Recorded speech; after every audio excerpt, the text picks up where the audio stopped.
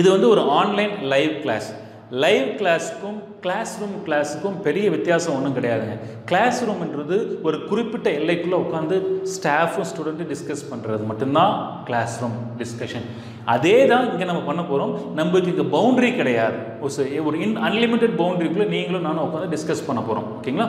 So அதே விதமான discussion discussion வந்து இப்போ நீங்கள் கீழே கமெண்ட்ஸில் கொடுக்கலாம். அல்லது நீங்கள் ஃப்யூச்சரில் மெயில் மூலமாகவோ அல்லது நம்ம இதுக்காக டெடிக்கேட்டடாக கிரியேட் பண்ணியிருக்க வாட்ஸ்அப் குரூப் மூலமாகவோ நீங்கள் வந்து எனக்கு தகவல் கொடுக்கலாம். ஸோ இந்த இன்ட்ராக்ஷன் ஒரு பக்கம் மட்டும் இருந்துடக்கூடாது. நீங்களும் தகவல் கொடுக்கணும். நீங்களும் எங்ககிட்ட பேசணும். நானும் உங்ககிட்ட பேசும்போது தான் நம்ம வந்து ஒரு அண்டர்ஸ்டாண்டிங்க்கு வருவோம். அப்போ தான் நம்மளால் நம்ம என்ன பேச போகிறோம் நம்ம என்ன டிஸ்கஸ் பண்ண போகிறோன்றது எல்லாரும் தரவாக தெரிஞ்சுக்க முடியும். ஓகேங்களா ரைட் சரி நண்பர்களே. இப்போ முத முதல்ல நம்ம பார்க்க போகிறது என்னன்னு பார்த்தீங்கன்னா இந்த ஆட்டோ கேட் அப்படின்னு சொல்லிட்டேன் நான் இல்லைங்களா?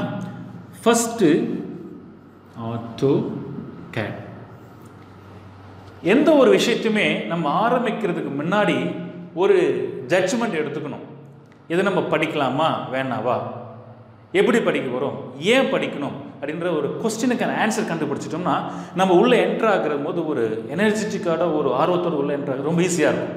ஸோ இப்போ என்ன பண்ண போகிறேன் ஏன் படிக்கணும்? எதுக்கு படிக்கணும்? எப்படி படிக்க போகிறோம் இந்த மூணு கொஸ்டினுக்கான ஆன்சர் நம்ம வந்து சொல்லிடுறோம் நான் ஃபஸ்ட்டு உங்களுக்கு. ஆட்டோ கேட் இது ஏன் நான் படிக்கணும்? எப்படி படிக்கணும்? எதனால் படிக்கணும்? ஃபஸ்ட்டு நான் என்ன பண்ண போகிறேன் பார்த்தீங்கன்னா இந்த கேட் அப்படின்றது நான் சொல்லிடுறேன் நான் உங்களுக்கு. கேடுன்றது என்னது? திஸ் இஸ் சி இது வந்து கம்ப்யூட்டர் இது வந்து எயிட் டி வந்து டிசைன் அப்படி இல்லைன்னா drafting so computer aided design இந்த சிஏடி அப்படின்றத நம்ம கோர்ஸ் பேருங்க. கேடுன்றது தான் கோர்ஸ் அப்போ ஆட்டோ கேட் அப்படின்றது என்னது? இப்போ நிறைய பேர் ஆன்லைனில் இருக்கிறீங்க. நீங்கள் கீழே அந்த ஆட்டோ அப்படின்றதுக்கு என்ன மீனிங் சொல்ல முடியுமா? ஏற்கனவே நான் ஆன்லைன் உங்களுக்கு நடத்தமாக சொல்லியிருக்கிறேன் நான். ரைட் நோ ப்ராப்ளம் ஆட்டோ அப்படின்றது இது வந்து கம்பெனி பேர். அதாவது பார்த்தீங்கன்னா ஃபார் எக்ஸாம்பிள் இதுவும் பெண்ணு தான் இதுவும் பெண்ணு தான் இதுவும் பெண்ணு தான் நான் வச்சுருக்கிறதும் பெண்ணு தான் அப்போது எல்லாமே ப்ராடக்ட் நேம் வந்து பென் அப்போ என்ன வித்தியாசம்? இது ஒரு கம்பெனி இது வேற கம்பெனி இது வேறு கம்பெனி இது வேறு company this is called Reynolds pen this is called Faber Castell pen this is called Riddles pen so மாரி பெண்ணினுடைய கம்பெனி வித்தியாசம் தான் வேறு. அதே மாதிரி தாங்க இது வந்து கம்பெனி நேம் ஆட்டோ அப்படின்றது கம்பெனியினுடைய பேர். அப்போ அந்த ஆட்டோன்றது ஃபுல் நேம் என்ன? ஆட்டோ டெஸ்க் அப்படின்ற கம்பெனி இது எங்கே இருக்குது யுஎஸ்ஏ கலிஃபோர்னியாவில் இருக்குது கலிஃபோர்னியாவில் இருக்குது அப்போது நம்ம வந்து இந்த ஆட்டோடெஸ்க் கம்பெனியுடைய முதல்ல இருக்கு பாருங்கள் பேர் ஆட்டோ இதையும் ப்ராடக்ட் நேம் கேடையும் சேர்த்து தான் அவங்க ஆட்டோ கேட்னு சொல்கிறாங்க ரைட் இப்போ நம்ம படிச்சுட்டு இருக்கிற இந்த கோர்ஸ் வந்து யூஎஸ் பேஸ்டு சாஃப்ட்வேர் ஓகேங்களா? இன்னைக்கு இந்த சாஃப்ட்வேர் தான் இண்டஸ்ட்ரியில் தொண்ணூற்றி ஒன்பது சதவீதம் மாடலிங்க்கும் டிராஃப்டிங்க்கும் டிசைனிங்க்கும் யூஸ் பண்ணுறாங்க ஸோ அதனால் நம்மளும் அதை தான் யூஸ் பண்ண போகிறோம் அப்படி யூஸ் பண்ணுறதுனால நம்ம இந்த கோர்ஸை படிச்சுட்டு வேர்ல்டில் எங்கே வேணால் நம்ம இப்போ ஒர்க் பண்ண முடியும். ஸோ இப்போ நீங்கள் இங்கே படிக்கிறீங்க ஆன்லைனில் படிக்கிற இந்த கோர்ஸ் இதே ஆட்டோகேட் தான் அமெரிக்காவில் போனாலும் இதே ஆட்டோகேட் சாஃப்ட்வேர் தான். நீங்கள் ஆஃப்ரிக்காவில் போனாலும் இதே ஆட்டோகேட் சாஃப்ட்வேர் தான். சிங்கப்பூர் மலேசியா துபாய் நீ எங்கே போனாலும் இதே ஆட்டோகேட் கோர்ஸ் தான் சாஃப்ட்வேர் தான் அவங்களும் யூஸ் பண்ணுறாங்க ப்ராடக்ட் ஏதாவது அதே யூஸ் கம்பெனி தான் சேல்ஸ் பண்ணியிருக்கிறாங்க அப்போது நீங்கள் உலகத்தில் எந்த மூலையில் நீங்கள் ஆட்டோகேட் படித்தாலும் நீங்கள் எங்கே வேணாலும் போய் ஒர்க் பண்ண முடியும். அப்போது நம்மளுடைய கேட்கம் தமிழ் யூடியூப் சேனலில் நீங்கள் படிக்கக்கூடிய இந்த AutoCAD course it gives you அதாவது உங்களுக்கு வந்து வேர்ல்டு வைடு எங்கே வேணால் நீங்கள் போய் ஒர்க் பண்ணுறதுக்கான ஒரு டோக்கன் உங்களுக்கு கொடுக்க போகுது. ஸோ உங்களுடைய ஐம் என்ன? ஆட்டோகேட் கோர்ஸ் தரவாக ஃபுல்லாக நீங்கள் படிக்கணும். அது ஒன்று தாங்க ரைட் வாங்க. நெக்ஸ்ட் இப்போது முக்கியமாக சொல்லணும் நான் கேடு அப்படின்றது தான் நம்ம கோர்ஸ் பேர். கம்ப்யூட்டர்ன்றது என்னது? நம்மளுக்கு தெரியும். கீபோர்டு மானிட்டர் மவுஸ் இதுதான் நம்மளுக்கு கம்ப்யூட்டர் எய்ட் அப்படின்றதுக்கு என்ன அர்த்தம்? தட் மீன்ஸ் ஹெல்ப் அப்போது கம்ப்யூட்டர் ஹெல்ப்போடு டிசைன் பண்ண போகிறோம் கம்ப்யூட்டர் ஹெல்ப்போட டிராஃப்டிங் பண்ண போகிறோம் இதுதான் நம்ம கோர்ஸ்னுடைய பேர். கேடுன்றது என்னது with the help of computer we are going to design something. Going are going something அதாங்க கேடுன்றது அப்போது டிசைன் அப்படின்றது என்ன? டிராஃப்டிங் அப்படின்றது என்ன? அது உங்களுக்கு டிஃப்ரென்ஷியேட் தெரிஞ்சால் தான் then you can go inside இருக்கீங்களா? ரைட் அதை நான் உங்களுக்கு சொல்லிடுறேன். ஃபஸ்ட்டு வந்து டிராஃப்டிங் நெக்ஸ்ட் டிசைன் நண்பர்களே நிறைய பேர் ஆன்லைனில் இருக்கிறீங்க. டிராஃப்டிங் அப்படின்றது என்ன அப்படின்றது நீங்கள் கீழே கமெண்ட்ஸில் கொடுத்தீங்கன்னா ரொம்ப யூஸ்ஃபுல்லாக இருக்கும். தப்பாக இருக்குமோ அப்படின்னு யோசிக்காதீங்க. தப்பாக இருந்தால் நாங்கள் கரெக்டாக சொல்கிறேன் நான் உங்களுக்கு. ஓகேங்களா? தப்போ ரைட்டோ அட்டன் பண்ணுங்க. அட்டன் பண்ணுறது சக்ஸஸ் தான் நம்மளுக்கு. ஓகேங்களா நெக்ஸ்ட் அதேமாதிரி டிசைன் அப்படின்றத பிறகு சொல்கிறேன் ஃபஸ்ட்டு டிராஃப்டிங் அப்படின்றது என்ன? டிராஃப்டிங் அப்படின்றது என்னன்னு பார்த்தீங்கன்னா ரீப்ரொடியூஸ் பண்ணுறது ரீட்ரா பண்ணுறது in two D mostly drafting it means two dimension using X and Y axis அதாவது டிராஃப்டிங் அப்படின்றது ஏற்கனவே ஒரு டிராயிங் இருக்குது அந்த டிராயிங்கை பார்த்து நம்ம எப்படி வரைகிறது ரீப்ரொடியூசிங் தி எக்ஸிஸ்டிங் அப்படின்றதாங்க டிராஃப்டிங் வேறு ஒன்றும் கிடையாது. இப்போ நம்ம என்ன பண்ணிகிட்டு இருக்கிறோம் காலேஜில் நம்மளுக்குன்னு ஒரு சிலபஸ் கொடுத்துட்டாங்க. நம்மளுக்குன்னு ஒரு டிராயிங் கொடுத்துட்டாங்க. இதை தான் படிக்கணும்னு சொல்லிட்டாங்க. அதே தான் நீங்கள் படித்து எக்ஸாம் எழுதுறீங்க இல்லையா? ரீப்ரொடியூஸ் பண்ணுறீங்க இதுதான் டிராஃப்டிங் ஒர்க் பண்ணுறோம் நம்ம புதுசாக எதுவும் எக்ஸ்ட்ரா எழுதணும்னா எக்ஸ்ட்ரா நம்ம புதுசாக பண்ணுறோமா இல்லை. ஏன் நம்ம அது பண்ணுறோம் அப்போ நம்ம பண்ணுறது தப்பா? கிடையாது. ஃபஸ்ட்டு ஏற்கனவே இருக்கிறது என்னன்னு தெரிஞ்சுக்கணும். அதுக்கப்புறம் தான் நம்ம அட்வான்ஸ் போக முடியும். எடுத்த உடனே அட்வான்ஸாக போய் படிக்க முடியாது இல்லைங்களா? அப்போ ஃபஸ்ட் நம்ம தெரிஞ்சுக்க வேண்டியது டிராஃப்டிங் அப்போது ஏற்கனவே நம்ம சில ட்ராயிங்ஸ்லாம் இருக்குது அந்த ட்ராயிங்ஸை கேடு பேக்கேஜ் மூலமாக எப்படி வரைகிறது அதுக்கு என்னென்ன கமெண்ட்ஸ் தேவை? என்னென்ன மெத்தடில் நம்ம வரையலாம்? ஈஸியாக எப்படி வரையலாம்? ஸோ என்னென்ன நம்ம செட்டிங்ஸ் மாற்றணும் ஸோ இதெல்லாம் பேசிக் தெரிஞ்சுக்கணும்னா ஃபஸ்ட்டு நம்ம டிராஃப்டிங் படிக்கணும் டூ டி படிக்கணும். அதுக்கப்புறம் தான் we can come to the next level of design ஓகேங்களா? அப்போ நம்ம எந்த ஒரு அப்ரோச்சுமே நீங்கள் கேட் பேக்கேஜில் பண்ணுறீங்கன்னா ஃபஸ்ட்டு டிராஃப்டிங் கற்றுக்குங்க டிராஃப்டிங் அப்படின்றது என்னென்னா ஏற்கனவே இருக்கிற ட்ராயிங்கை யூஸ் பண்ணி அல்ல அந்த டிராயிங்கை எடுத்து நம்ம இந்த ப்ரோக்ராமில் எப்படிலாம் வரையலாம்? அப்படி வரையும் போது உங்களுக்கு எல்லா டூல்ஸும் யூஸ் பண்ணுறது எப்படின்றது தெரிஞ்சுக்குவீங்க. ஓகேங்களா? ரைட் இதுதான் டிராஃப்டிங் அப்படின்றது. Reproducing or replacing next design அப்படின்றது என்ன? டிசைன் அப்படின்றது என்ன பார்த்தீங்கன்னா ரெண்டு விதமாக சொல்லலாம். ஒன்று வந்து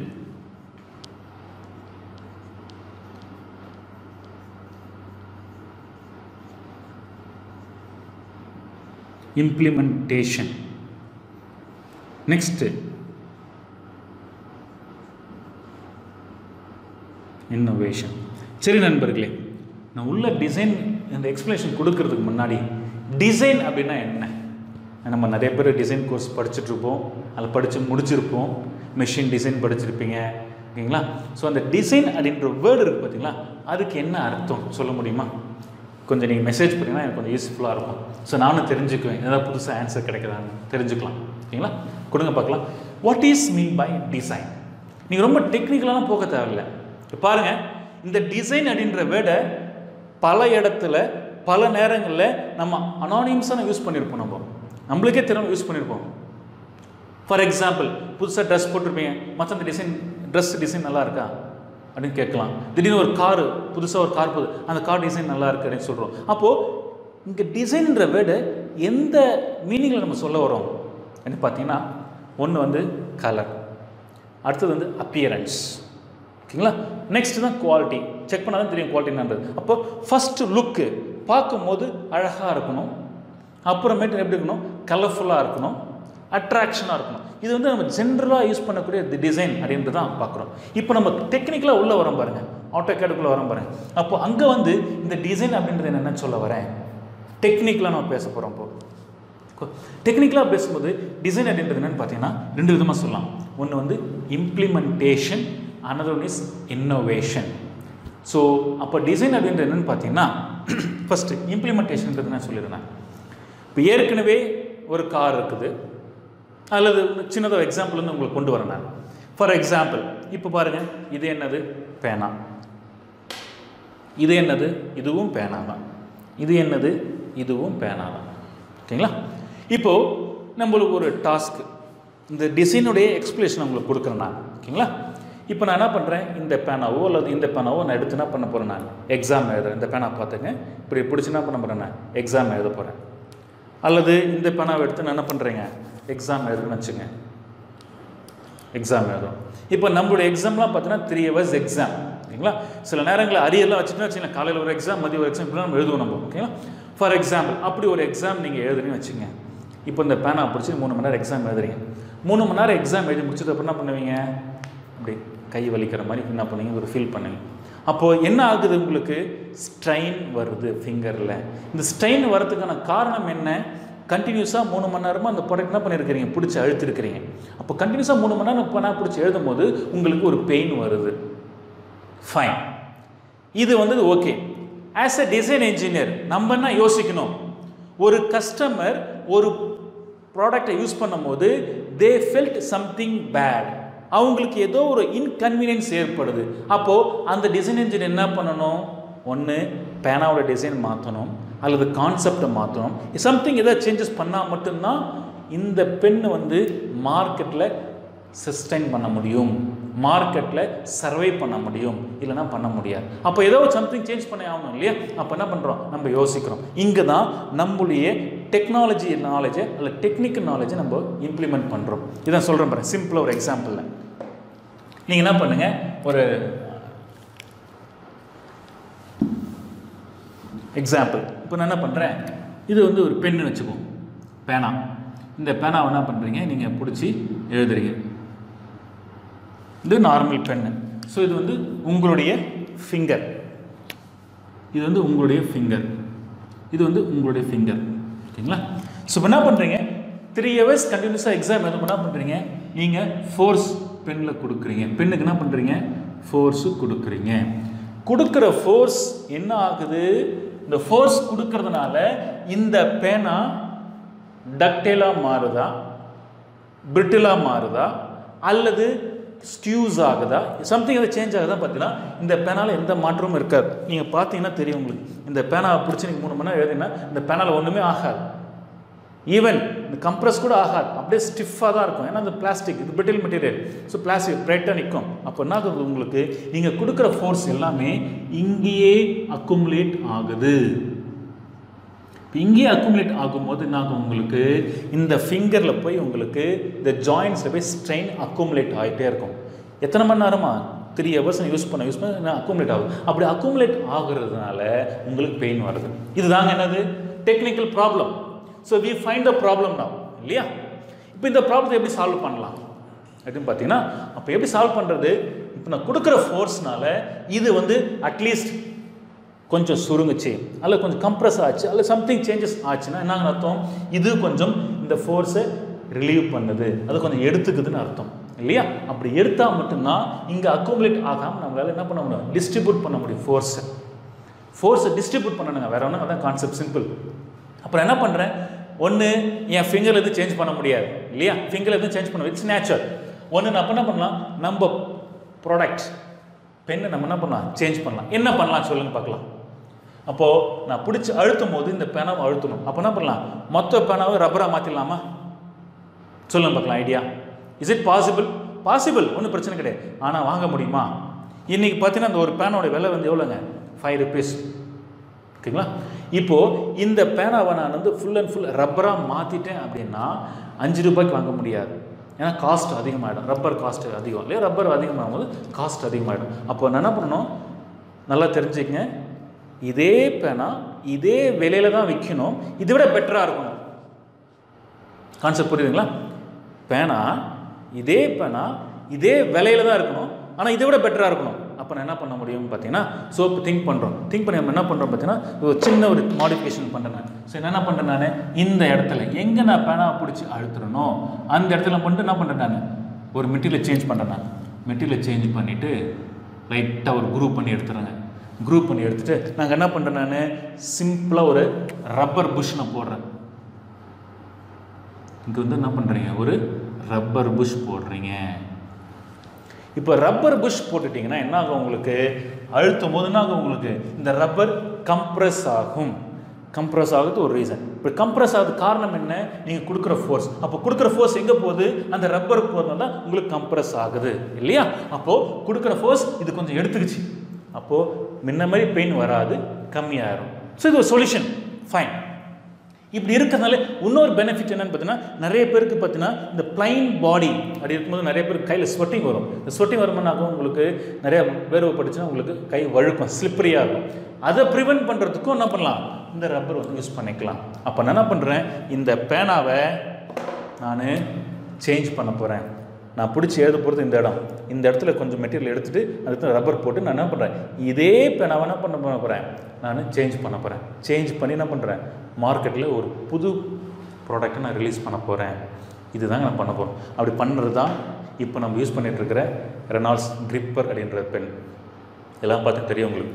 நம்ம நிறைய பேருக்கு உங்களுக்கு தெரியுமான்னு தெரியல. நாங்கள்லாம் படிக்கும்போது பார்த்தீங்கன்னா ரெனால்ஸ் பெனான்றது கீழே பாட்டமில் வந்து ஒயிட் பாடியும் மேலே ப்ளூ கலர் கேப்பும் தான் இருக்கும். ப்ளைனாக இருக்கும்.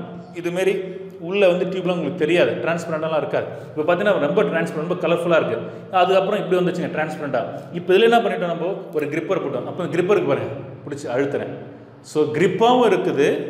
அதே நேரத்தில் உங்களுக்கு ஸ்ட்ரெஸ் ரிலீவராகவும் உங்களுக்கு இருக்கிறதுனால ஸோ என்ன பண்ணுறோம் இதே ப்ராடக்டை என்னுடைய டெக்னாலஜி நாலேஜை யூஸ் பண்ணி நான் என்ன பண்ணுறேன் இந்த பொருளை மாற்றுறேன் இதுதாங்க implementation implementing a concept implementing a technology implementing a idea change into new product so ஏற்கனவே இருக்கிற பொருள் மேலே என்னுடைய ஐடியாவோ கான்செப்டையோ அந்த டெக்னாலஜி இம்ப்ளிமெண்ட் பண்ணி வேற ஒரு பொருளாக மாற்றுறது இதுக்கு பேர் ஒரு டிசைன் இன்றைக்கி நம்ம பண்ணிகிட்டு இருக்கிறது நைன்டி பர்சன்ட் ஆஃப் ஒர்க் இண்டஸ்ட்ரியாக தாங்க பண்ணிட்டு இருக்கிறோம். இப்போ பாருங்கள் கார் பார்க்குறீங்க பைக் பார்க்குறீங்க எல்லாமே இப்போ ஃபார் எக்ஸாம்பிள் பைக் எடுத்துங்க. பைக்னு எடுத்தோன்னா ரெண்டு வீல் தான் டூ சீட்டர்ஸ் தான் பைக் வேறு எதுவுமே சேஞ்ச் கிடையாது. ஆனால் நீங்கள் பார்த்தீங்கன்னா மார்க்கெட்டில் மூணு மாதத்துக்கு அல்லது ஆறு மாதத்துக்கு ஒரு பைக் ரிலீஸ் ஆகிட்டே இருக்குது ஏன்னா ஏதோ சம்திங் சேஞ்சஸ் சின்ன நீங்கள் ரியலாக ஃபீல் பண்ணலாம்.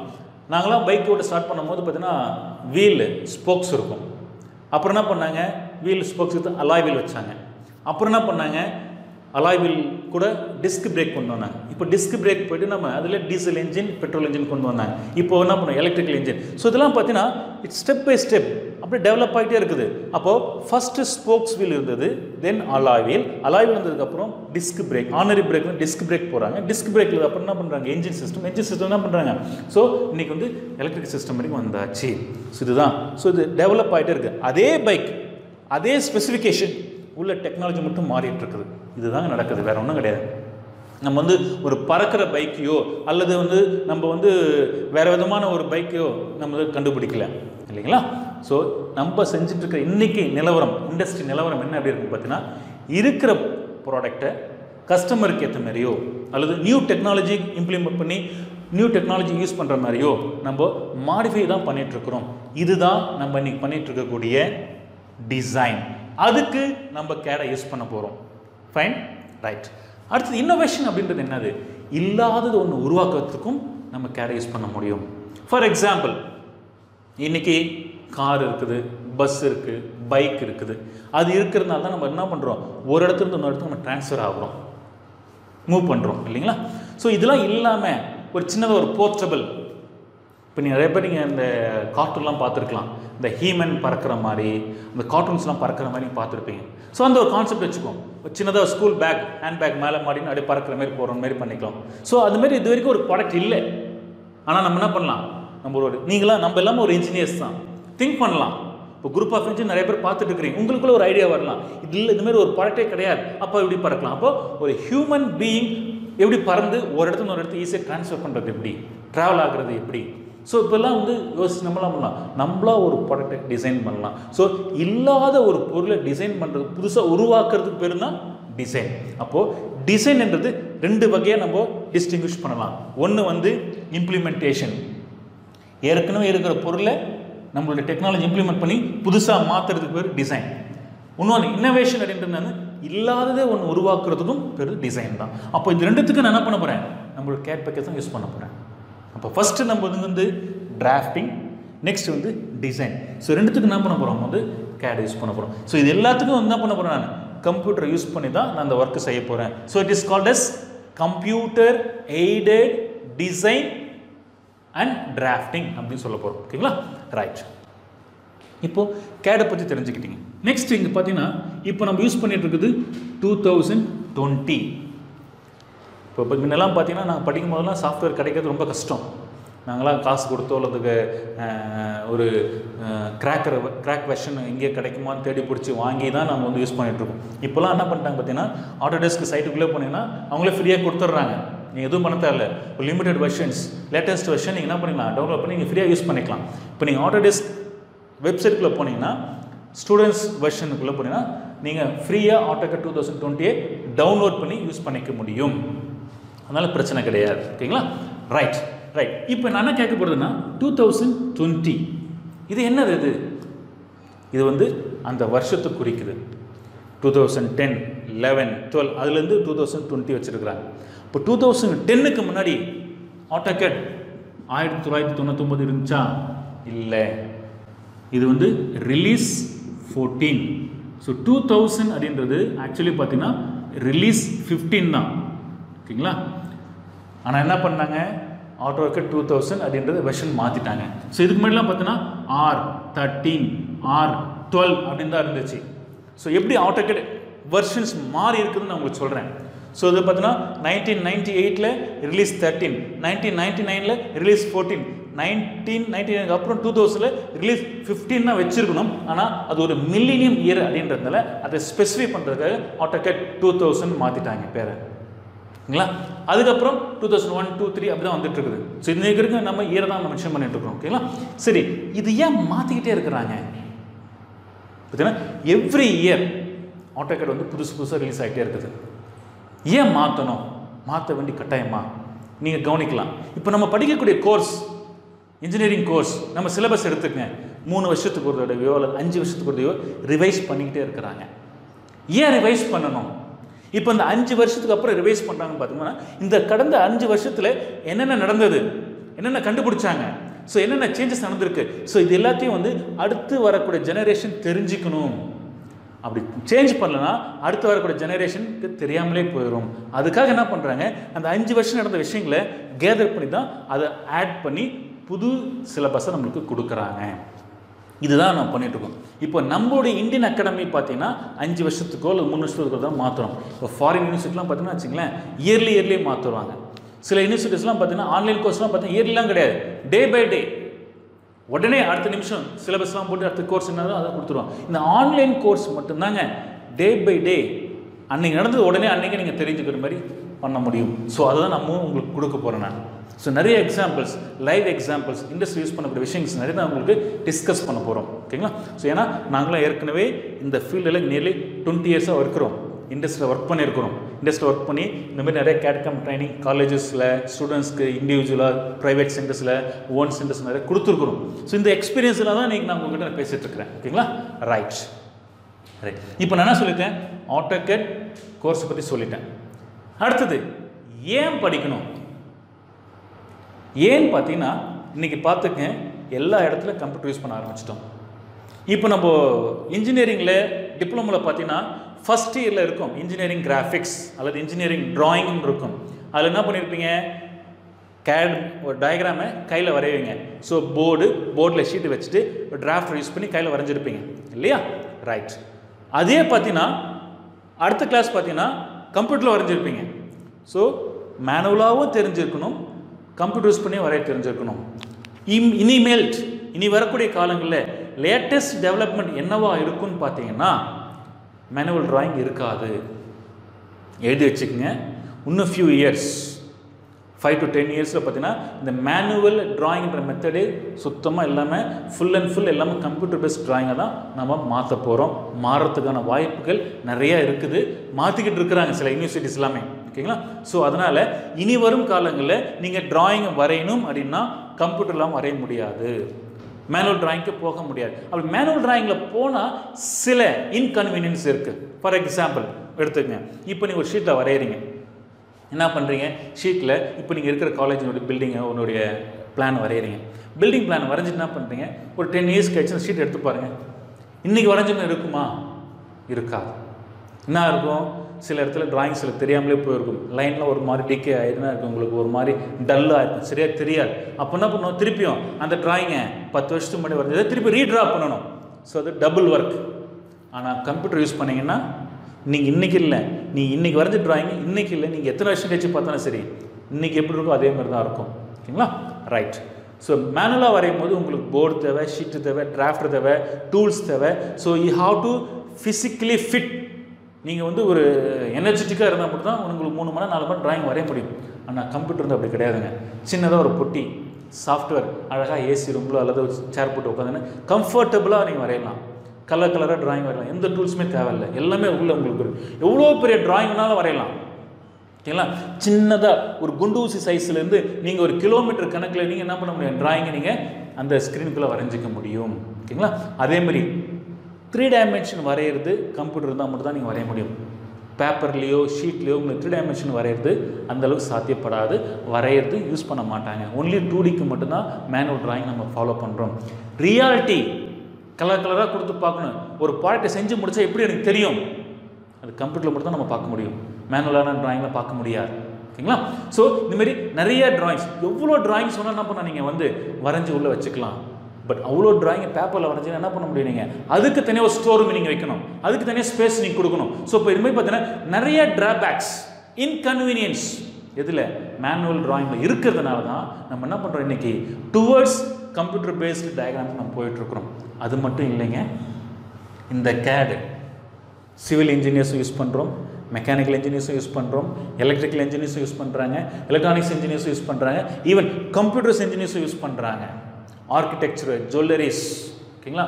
Dental ortho doctors medical field எல்லாரும் ஆட்டோகேட் யூஸ் பண்ணுறாங்க சின்ன எக்ஸாம்பிள் சொல்கிறோம் பாருங்கள் இப்போது நம்ம வந்து மெக்கானிக்கல் இன்ஜினியர் இல்லையா?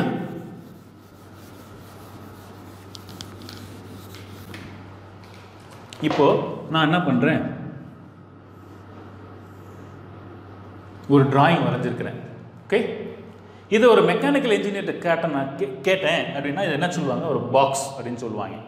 அல்லது ஒரு பிளாக் ஒரு பிரிக் சாரி ஒரு பிளாக் அப்படின்னு சொல்லுவோம். இதே நான் சிவில் இன்ஜினியர்கிட்ட காட்டுறேன். அப்படின்னா அவனை சொல்லுவாங்க? விண்டோ அப்படின்னு சொல்லுவாங்க. அல்லது பிரிக் செங்கல் இல்லை கல் அப்படின்னு சொல்லுவாங்க. ஓகேவா இதே நான் வந்து ஒரு எலக்ட்ரானிக்ஸ் இன்ஜினியர் காட்டினா பேனல் போர்டு ஆர் மதர் போர்டுன்னு சொல்லுவாங்க. ஓகேங்களா? இதே நான் போயிட்டு கம்ப்யூட்டர் இன்ஜினியர்ஸ் கட்டினா சிபியூ ஆர் சம்திங் ப்ராடக்ட் என்ன அவங்களுக்கு ரிலேட்டட் ப்ராடக்ட் சொல்லுவாங்க. அப்போ பார்த்தீங்கன்னா டிராயிங் எல்லாம் ஒன்று தான் பார்க்குறவங்க கண் எப்படி இருக்கோ அதுக்கு வந்து வித்தியாசம் தெரியும். இப்போ நான் பார்த்தேனே அப்படின்னா நான் என்ன நினச்சேன் நான்? ஒரு பாக்ஸ் வரைஞ்சி நினச்சேன். நான் மெக்கானிக்கல் இன்ஜினியர் பாக்ஸ் நினச்சேன். இதே என்ன பண்ணுவாங்க? சிவில் இன்ஜினியர் அதே மாதிரி வரைஞ்சி நடுவில் ரெண்டு கூட போடுவாங்க. இது வந்து விண்டோன்னு சொல்ல போகிறாங்க அவ்வளோதான் வித்தியாசம். அதே நீங்கள் என்ன பண்ண எலக்ட்ரிக்கல் இன்ஜினியர்ஸ்னு சர்க்கியூட் போர்டு மதர் போர்டுன்னு சொல்ல போகிறாங்க ஸோ எல்லாரும் யூஸ் பண்ணக்கூடியது ஒரே கேட் தான் ஒரே கமாண்ட்ஸ் தான் ஒரே சாஃப்ட்வேர் தான் ஒரே மெத்தடாலஜி தான் பட் வரையக்கூடிய டிராயிங்கு தான் வேறு வேறு இருக்க போகுது. அப்போது இந்த ஆட்டோகேட் என்ற சாஃப்ட்வேர் வந்து பார்த்தீங்கன்னா எல்லாருக்குமே காமனுங்க அதனால தான் நல்லா பாருங்கள் ஃபஸ்ட் இயரில் நீங்கள் படிப்பீங்க ஆட்டோகேட் என்ற கோர்ஸை செகண்ட் இயரில் தேர்ட் இயர் எல்லாருக்குமே ஃபஸ்ட் இயரில் ஏன் வச்சிருக்கிறாங்க பார்த்தீங்கன்னா ஃபஸ்ட் இயரில் காமன் எல்லாரும் ஒன்றா படிப்பீங்க. Electrical students mechanical students electronic students computer students எல்லாரும் ஒன்றா படிச்சுட்டு இருப்பீங்க. அவங்களுக்கு இது தெரியணுன்றதை தான் கொடுத்துருக்குறாங்க. தெரியுதுங்களா? ஏன்னா இந்த AutoCAD is common for all nowadays இப்போ நீங்கள் ரீசெண்டாக எடுத்து பார்த்தீங்கன்னா நிறைய பார்த்துருப்பீங்க ஜொல் டிசைன் பண்ணுறாங்க பாருங்க. இந்த மோதல் டிசைன் பண்ணுறது ஜொல் டிசைன் பண்ணுறது அது கேர் யூஸ் பண்ணுறாங்க டெக்ஸ்டைல் டிசைனிங் கேர் யூஸ் பண்ணிட்டு இருக்கிறாங்க. ஓகேங்களா?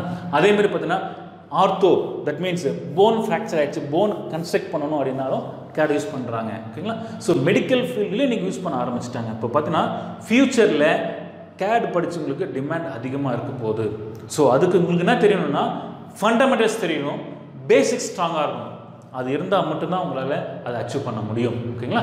ஸோ அதனால் இது கட்டாயமாக தெரிஞ்சுக்க வேண்டிய விஷயம்தான். இப்போ நீங்கள் சொல்லுங்கள் ஆட்டோ கேட் தெரிஞ்சுக்கணுமா? வேணாவா? ஓகேவா? கையில் கமெண்ட்டில் கொடுங்க நான் எதிர்பார்க்குறேன். நெக்ஸ்ட் இப்போது ஏன் படிக்கணும்னு தெரிஞ்சுக்கிட்டோம். எப்படி படிக்க போகிறோம் ஓகேங்களா? ஸோ இந்த கோர்ஸ் ஆட்டோகேட் கோர்ஸ் வந்து பார்த்தீங்கன்னா ரெண்டு விதமாக இருக்கும். பெரும்பாலும் நீங்கள் பெரும்பாலும் பார்க்குற இடத்துல போகிற இடத்துல எனக்கு தெரியும் உங்களுக்கு. ஆட்டோகேட் கோர்ஸ் எப்படி எடுப்பாங்கன்னா கம்ப்யூட்டர் மட்டும் உட்கார வச்சுருவாங்க எடுக்க உட்கார வச்சு அங்கே பண்ணி வரைவாங்க இப்படி தான் வரைங்க சொல்லிட்டு போயிட்டே இருப்பாங்க. கம்ப்யூட்டரில் டேட்டா போகாதீங்க. இப்போ நீங்கள் பார்த்தீங்கன்னா போர்டில் நடத்திட்டு இருக்கிறாங்க. எல்லா கிளாஸுமே இதுக்கப்புறம் உங்களுக்கு அப்படி தான் இருக்க போகுது. ஃபஸ்ட்டு போர்டில் நடத்த போகிறேன் போர்டில் எக்ஸ்பிளேஷன் கொடுக்க போகிறேன் அதை பேஸ் பண்ணி தான் நீங்கள் வரைவீங்க. அதையும் நான் உங்களுக்கு கம்ப்யூட்டர் சொல்லிக் கொடுக்க போகிறேன் அதுக்கப்புறம் தான் நீங்கள் போவீங்க. ஸோ ஃபஸ்ட்டு ஃபண்டமெண்டல்ஸ் தெரியணும். இப்போ நம்ம கோர்ஸ் எடுத்துக்குமே. ஃபார் எக்ஸாம்பிள் எனி கோர்ஸ் எடுத்துங்க. இப்போ தெர்மோடைனமிக்ஸ் எடுத்துங்க. தெர்மோடைனமிக்ஸ் தேரி கிளாஸ் இருக்கும். அது கூட ப்ராக்டிக்கல் கிளாஸ் இருக்கும். ஃப்ளூயிட் மெக்கானிக்ஸ் எடுத்துங்க. தேரி கிளாஸ் இருக்கும். ப்ராக்டிக்கல் கிளாஸ் இருக்கும். ஸோ தேரியும் இருக்கும். ப்ராக்டிக்கலும் இருக்கும். ஏன் தேரி ப்ராக்டிக்கல் இருக்கிறாங்க? ஃபஸ்ட்டு பேசிக்ஸ் கான்செப்ட் தெரிஞ்சுக்கணும். ஓகேங்களா? அதுக்கப்புறம் என்ன பண்ணுனீங்க அதை ஒர்க் அவுட் பண்ணி பார்க்கணும். அதே அப்ரோச் தான் நானும் ஃபாலோ பண்ண போகிறோம் ஃபஸ்ட்டு எல்லா கிளாஸுமே எல்லா கமெண்ட்ஸுமே நான் போர்டில் எழுதி எப்படி வரையணும் எப்படி வர வரையக்கூடாது சில எப்படி ஆட்டோகேட் புரிஞ்சுக்கும் அப்படின்றத செட்டப் இல்லாமல் சொல்லிட்டு தான் நான் உங்களுக்கு கொடுக்க போகிறேன் ஸோ அதனால் எப்பயுமே என்னுடைய கிளாஸ் பொறுத்தவரைக்கும் நான் ஸ்டூடெண்ட்ஸ் ப்ரிஃபர் பண்ணுறது என்னன்னா கையில் எப்பயுமே ஒரு நோட்டு ஒரு பென்னு வச்சுக்கங்க. பேப்பர் வச்சுக்காதீங்க. ஏன்னா கிளாஸ் நோட்ஸ் கண்டினியூஷனாக இருந்தால் தான் நாளைக்கு உங்களுக்கு ஃப்யூச்சரில் யூஸ் ஆகும் உங்களுக்கு. நீங்கள் படிக்கிறது. ஸோ பேப்பர் வேண்டாம். ஒரு சின்ன நோட் வச்சுக்கோங்க. பென் வச்சுட்டு நீங்கள் சொல்கிறதெல்லாம் நோட் பண்ணிவிடுவாங்க ஓகேங்களா? ரைட் ஸோ ஃபஸ்ட் நான் சொல்லிட்டேன். ஏன் படிக்கணும்னு சொல்லிட்டேன்? எப்படி படிக்கணும்னு சொல்லிட்டேன். ஓகேவா ரைட் எதுக்காக படிக்கிறோம் நம்ம? படித்து முடிச்சுட்டு இல்லாமல் ஒரு வேலைக்கு தேட தான் போகிறோம் ஓகேங்களா ஒரு வேலைக்குன்னு போகும்போது ஒரு டிசைன் இன்ஜினியர் வேலை எப்படி இருக்கும்? என்ன பண்ண போகிறோம் டிசைன் பண்ண போகிறோம் மாடிஃபிகேஷன் பண்ண போகிறோம் இன்றைக்கி ப்ரொடக்ஷன் பண்ணக்கூடிய எல்லாருமே டிசைன் இன்ஜினியர் தாங்க. வேறு யாருமே கிடையாது. முன்னெல்லாம் எப்படி இருக்கும் பார்த்தீங்கன்னா ஸ்ட்ரக்சர்ஸ் அதாவது இண்டஸ்ட்ரி ஸ்ட்ரக்சர் எப்படி இருக்குன்னு பார்த்தீங்கன்னா ஃபார் எக்ஸாம்பிள் இப்போ என்ன பண்ணுறோம் ஒரு பொருள் வச்சுப்போம் எக்ஸ்ஒய் காம்பனண்ட் இப்போ அதை மேனுஃபேக்சர் பண்ணணும். என்ன பண்ணுவாங்க? ஃபஸ்ட்டு மேனுவலாக ட்ராயிங் வரைவாங்க. ஷீட்டில் என்ன பண்ணியிருப்பாங்க? வரைஞ்சிருப்பாங்க. இது என்ன ஆகும் அடுத்தது சூப்பர்வைசர்கிட்ட போகும். ஸோ இது வந்து இவங்க பேர் வந்து சூப்பர்வைசர் இது இவர் வந்து யார்? டிசைனர் யார்? மேனுவல் டிசைனர் மேனுவலாக வரைகிறாங்க சூப்பர்வைசர்கிட்ட போகும். சூப்பர்வைசர் என்ன பண்ணுவார்? ஓகே அப்படின்னு சொன்னாருன்னா அதுக்கப்புறம் என்ன பண்ணுவோம்? இங்கே வந்து ப்ரொடக்ஷனுக்கு வரும். ப்ரொடக்ஷன் வரும். ப்ரொடக்ஷன் முடிஞ்சோடனே என்ன போகும் ப்ரொடக்ஷன் பண்ணி முடிச்சிட்டாங்க. குவாலிட்டி குவாலிட்டி குவாலிட்டி பண்ணி முடிச்சதுக்கப்புறம் என்ன ஆகும்? It will come to the customer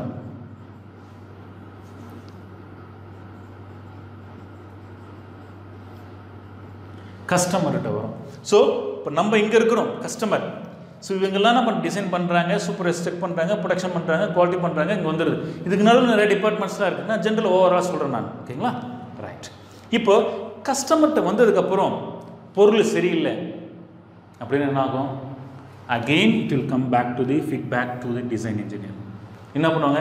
திருப்பி டிராயிங்கை மாற்றுவாங்க திருப்பி சூப்பர்வைஸ்ட்டு போவோம் அவர் செக் பண்ணுவார். இங்கே எங்கே கரெக்ஷன் இருந்துச்சுன்னா திருப்பி to come back to the design engineer correction பண்ணி கொடுத்து கரெக்ஷன் பண்ணி கொடுத்து எல்லாம் முடிவானதுக்கப்புறம் ப்ரொடக்ஷன் வரும். அப்புறம் குவாலிட்டி தென் கஸ்டமர் இப்படி கஸ்டமர் வந்து அது கஸ்டமர் சாட்டிஸ்ஃபைட் ஆகிற வரைக்கும் என்ன பண்ணும்? இந்த சைக்கிள் நடந்துக்கிட்டே இருக்கும். ஓகேங்களா? இதுதான் earlier method of production designing manufacturing customer எல்லாமே. ஸோ இப்போ இது சிஸ்டமே இப்போ கிடையாது. இப்போ இந்த சிஸ்டமே கிடையாது.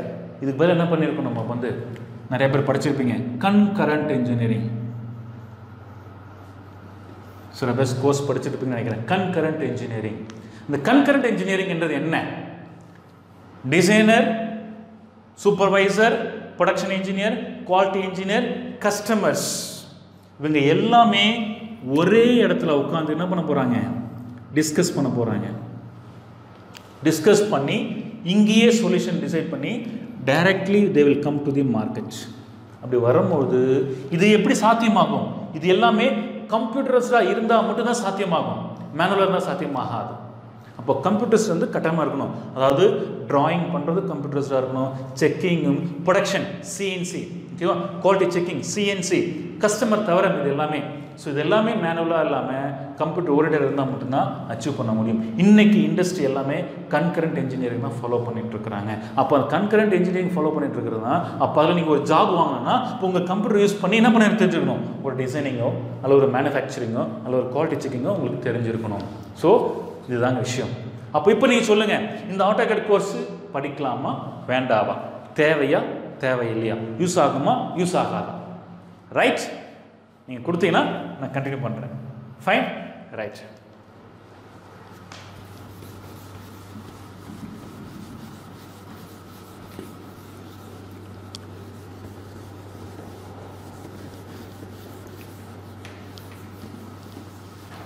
இப்போ நம்ம ஆட்டோகேட் கோர்ஸ் பற்றி நான் சொல்லிட்டேன். நெக்ஸ்ட் நம்ம என்ன சொல்ல போகிறேன் அப்படின்னு பார்த்தீங்கன்னா இது வந்து ஒரு குளோபல் ஸ்டாண்டர்ட் ஆட்டோகேட் கோர்ஸ்ன்றது ஒரு குளோபல் ஸ்டாண்டர்ட் என்ன குளோபல் ஸ்டாண்டர்டு நீங்கள் இங்கே படிக்கக்கூடிய இந்த ஆட்டோகேட் கோர்ஸ் இதே கோர்ஸ் தான் நீங்கள் சென்னையில் போய் படித்தாலும் சரி பாம்பேயில் போய் படித்தாலும் சரி டெல்லியில் போய் படித்தாலும் சரி அல்லது Singapore Malaysia Australia Africa America ஓகேவா துபாய் எங்கே போனாலும் இதே கோர்ஸ் தான் இதே சாஃப்ட்வேர் தான். ஸோ அதனால் கவலைப்படாதீங்க. நீங்கள் படிக்கிற இந்த சாஃப்ட்வேர் உங்களுக்கு ஒரு டோக்கன் மாதிரி வேர்ல்டில் எங்கே வேணால் நீங்கள் போய் வேலை செய்கிறதுக்கு ஸோ இது ஒரு குளோபல் கோர்ஸை நீங்கள் உட்காந்து இந்த கேட்கம் தமிழ் மூலமாக நீங்கள் கற்றுக்குறீங்க ஓகே ரைட் இப்போது ஃபஸ்ட்டு நான் உள்ளே போகிறது மாதிரி நான் என்ன பண்ண போகிறேன் பார்த்தீங்கன்னா ஒரு சின்ன ஒரு இன்ட்ரடக்ஷன் அதாவது ஏற்கனவே நம்ம கிராஃப்ட்லாம் வரைஞ்சிருப்போம். ஓகேங்களா? ஸோ அதெல்லாம் உங்களுக்கு தெரிஞ்சிருக்கும். ஓகேங்களா? இப்போ நம்ம என்ன பண்ண போகிறோம் ஃபஸ்ட்டு ஆட்டோக்கில் தெரிஞ்சுக்க வேண்டிய விஷயம்னு பார்த்தீங்கன்னா point fixing method point fixing method so இதுதான் வந்து உங்களுக்கு கட்டாயமாக தெரிய வேண்டிய விஷயங்கள். அதாவது ஆட்டோகேட்டில் எப்படி ஒரு புள்ளி வைக்கிறது? இதை நீங்கள் தெரிஞ்சால் தான் ஆட்டோகேட்டில் நீங்கள் எப்படிலாம் வரைய முடியும்? அப்போ ஃபஸ்ட்டு ஒரு புள்ளி இப்போ போர்டு இருக்குது இல்லையா? இந்த போர்டில் இங்கே நான் ஒரு புள்ளி வைக்கிறேன். இந்த புள்ளி எங்கே இருக்குது இங்கே இருக்குன்னு சொல்லிடலாம். ஆனால் அது கரெக்டு கிடையாது இல்லையா? எக்ஸில் எவ்வளோ தூரம் தள்ளி இருக்குது ஒயில் எவ்வளோ தூரம் தள்ளி இருக்குது? அப்படின்னு சொல்லணும். அல்லது எக்ஸில் எவ்வளோ தூரம் இருக்குது ஒயில் எவ்வளோ தூரம் இருக்குதுன்னு சொல்லணும். அல்லது எக்ஸில் எவ்வளோ தூரம் வந்து இவ்வளோ ஆங்கிள் இருக்குதுன்னு சொல்லணும். ஸோ மொத்தம் மூணு மெத்தட் இருக்குதுங்க. ஆட்டோகேடில் ஒரு புள்ளி வைக்கிறது. இந்த மூணு மெத்தடை நீங்கள் தரவாக தெரிஞ்சுக்கிட்டீங்க அப்படின்னா உங்களால் எந்த ஒரு ட்ராயிங்குமே ஈஸியாக வரைய முடியும். ஈஸியாக கற்றுக்கவும் முடியும். ஓகேங்களா? ரைட் ஸோ இதில் வந்து மூணு மெத்தட் இருக்குது பாயிண்ட் ஃபிக்ஸிங் மெத்தட்ஸ் ஓகேவா absolute method relative method polar method இந்த மூணு மெத்தடையும் சில எக்ஸாம்பிள் மூலமாக உங்களுக்கு நான் எக்ஸசைஸோடு கொடுக்க போகிறேன் ஸோ பேசிக்ஸ் ஃபஸ்ட்டு சில கிளாஸ் போர்டில் தான் போயிட்டுருக்கும். ஸோ தி கான்செப்ட் ஓகேங்களா இந்த கான்செப்டை எங்கேயுமே நீங்கள் இண்டஸ்ட்ரி போய் நீங்கள் அனுபவப்பட்டு தெரிஞ்சுக்கணுன்றக்காக தான் இங்கே நான் உங்களுக்கு கொடுக்குறேன். ஓகேங்களா இந்த கான்செப்ட் நீங்கள் புரிஞ்சுக்கிட்டீங்க அப்படின்னா எந்த விதமான ட்ராயிங் வரைய முடியும்? ஓகேங்களா ஸோ நீங்கள் செக் பண்ணி பாருங்கள் திடீர்னு ஒரு இண்டஸ்ட்ரி ட்ராயிங் ஓப்பன் பண்ணி பாருங்கள் இன்டர்நெட்டில் ஓப்பன் பண்ணுங்கள் எடுத்து உங்களால் வரைய முடியுதா பாருங்கள் யூ வில் ஸ்ட்ரகிள் எங்கே ஆரம்பிக்கிறது? எங்கே முடிக்கிறது? எதை ஃபஸ்ட்டு தொடங்குறது? எந்த பக்கம் ஆரம்பி வந்து தடுமாறுவீங்க. அந்த ப்ராப்ளம் வராது. ஏன்னா நான் ஸ்டெப் பை ஸ்டெப்பாக ஆரம்பத்துலேருந்து உங்களுக்கு கொண்டு போக போகிறேன் ஸோ அதனால் ஃபஸ்ட்டு பாயிண்ட் ஃபிக்ஸிங் மெத்தட் இந்த பாயிண்ட் ஃபிக்ஸிங் மெத்தடில் ஒன்று வந்து அப்சல்யூட் மெத்தட் ரெண்டு வந்து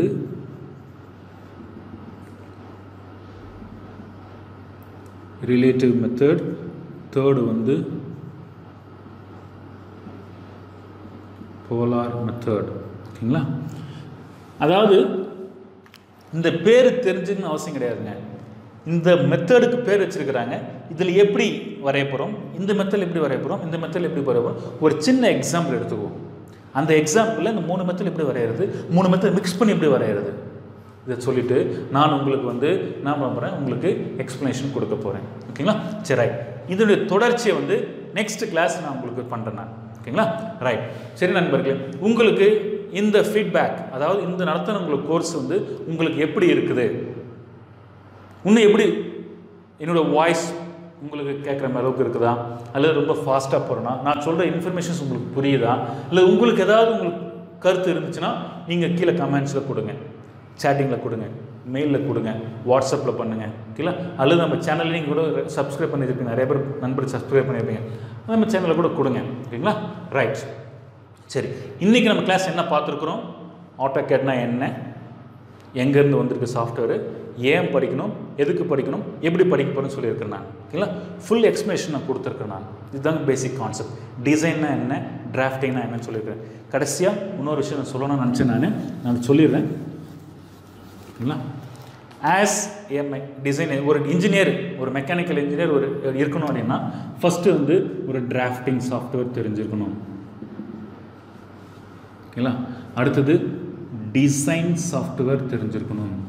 நெக்ஸ்ட்டு அனாலிசிஸ் சாஃப்ட்வேர் தெரிஞ்சிருக்கணும். ஓகேங்களா? டிராஃப்டிங் சாஃப்ட்வேர்ன்றது என்னது? ஆட்டோ கேட் ஓகேங்களா ஸோ அயான் கேட் ஓகேவா? நெக்ஸ்ட்டு சன் கேட் இது வந்து ஏதாவது டூ டிக்கு யூஸ் பண்ணக்கூடியது. என்னென்ன கேட் பேக்கேஜஸ்க்கு கட்டாயமாக ஏதாவது ஒன்று தெரிஞ்சிருக்கணும். டிசைன் அப்படின்னு பார்க்கும்போது என்ன பண்ணுறீங்க சாலிட் ஒர்க்ஸ் கிரியோ ப்ரோய் e இல்லை இப்போது கிரியோ நிறைய பேர் ப்ரோய் e படிச்சிருப்பீங்க. இப்போ ப்ரோயின்ற e வெர்ஷன் கிடையாது. கிரியோன்னு மாற்றிட்டாங்க கிரியோ சால்ட் ஒர்க்ஸு அப்புறமேட்டு பார்த்தீங்கன்னா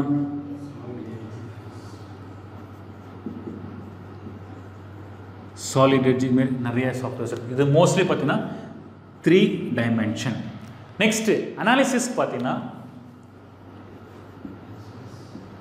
ஆன்சிஸ் அப்புறம் Nastran Nastran HyperMesh Abaqus இங்கே நிறையா சாஃப்ட்வேர்ஸ் இருக்குது இப்போது நீங்கள் எல்லோருமே மெக்கானிக்கல் இன்ஜினியர் இல்லையா? ஒரு mechanical engineer four years course படிக்கிறீங்க. ஃபோர் இயர்ஸ் கோர்ஸ் படித்து நீ வெளியே போகிறதுக்கு முன்னாடி அட்லீஸ்ட் ஒரு கோர்ஸ் டிராஃப்டிங்கில் ஒரு கோர்ஸ் டிசைனில் ஒரு கோர்ஸ் அனாலிசிஸில் கட்டாயமாக தெரிஞ்சிருக்கணும் இன்றைக்கி சுச்சுவேஷனுக்கு ஓகேங்களா? இது தெரியாமல் நீங்கள் இன்டர்வியூக்கு போகாதீங்க. ஓகேங்களா? ஸோ நீங்கள் டிராஃப்டிங் தெரிஞ்சிச்சுன்னா நிறைய ஃபண்டமெண்டல்ஸ் கற்றுக்கீங்க அதை யூஸ் பண்ணி நீங்கள் ஈஸியாக டிசைன் சாஃப்ட்வேர் ஈஸியாக கற்றுக்கலாம் டிராஃப்டிங் தெரிஞ்சால் தான் ஈஸியாக டிசைன் கற்றுக்க முடியும். ஸோ இது ரெண்டு நாலேஜ் வச்சு என்ன பண்ணிக்கிறீங்க காம்பனண்ட்டை அனலைஸ் பண்ணுவீங்க. ஓகேங்களா? ஸோ இது அனாலிசிஸ்னால் என்ன? அனாலிசிஸ்ன்றது நம்ம யூஸ் பண்ணுற பாருங்க. Mechanical workshop sorry materials லேபில் டென்சைல் டெஸ்ட் பண்ணியிருப்பீங்க கம்ப்ரெஷன் டெஸ்ட் பண்ணியிருப்பீங்க டார்ஷன் டெஸ்ட் பண்ணியிருப்பீங்க ஓகேவா இம்பேக்ட் டெஸ்ட் பண்ணியிருப்பீங்க இந்த எல்லா டெஸ்ட்டுமே ஃப்ளூயிட் ஃப்ளோ தெர்மல் அனாலிசிஸ்லாம் பண்ணியிருப்பீங்க தெர்மல் டெஸ்ட் பண்ணியிருப்பீங்களே இது எல்லாமே கம்ப்யூட்டரில் யூஸ் பண்ணுறதாங்க அனாலிசிஸ் இதில் நிறையா சாஃப்ட்வேர்ஸ் இருக்குது ஓகேங்களா ஏதாவது ஒன்று தெரிஞ்சுக்கணும் கட்டாயமாக இது தெரியாமல் நீங்கள் இன்டர்வியூ அட்டன் பண்ணாதீங்க. தெரிஞ்சுக்கிட்டு போங்க உங்களுக்கு கான்ஃபிடென்ட் கிடைக்கும். ஓகேங்களா ஸோ இதுதான் நான் சொல்ல விரும்புகிறது ரைட் ஸோ